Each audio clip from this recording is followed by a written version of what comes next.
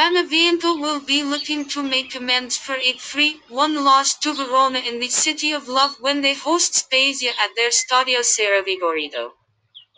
Benevento are on a three-game losing run in the Serie A, but it seems as if their displays are much better than their results. The Red and Yellows will not have a better chance than this to return to winning ways as they play host to Spezia at their Stadio Ciro Vigorito.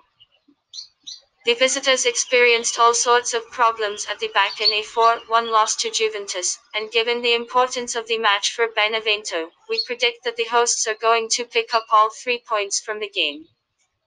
Caprari is banned for the hosts, while both Thiago Falk and Barba are likely to miss the match with injury. The likes of Acampora, Mastinu, Sala, Palabina, So, Capradossi, Mattiello, Erlic, and Ramos are out of contention for the visitors. Prediction 2 1.